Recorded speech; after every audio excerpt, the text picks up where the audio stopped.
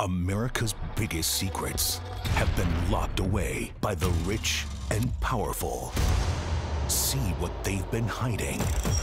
America's Book of Secrets, Special Edition, premieres Tuesday, August 11th at 9 on History.